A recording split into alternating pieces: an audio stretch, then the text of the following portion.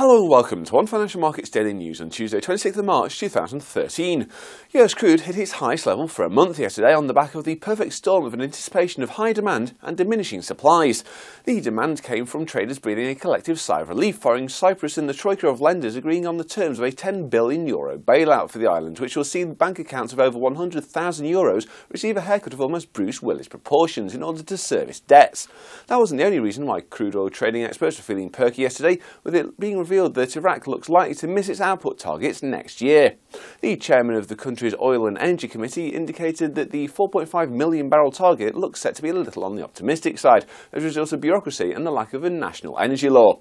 Having passed $95.50 a barrel yesterday at 800 GMT today, US crude was priced at $95 exactly.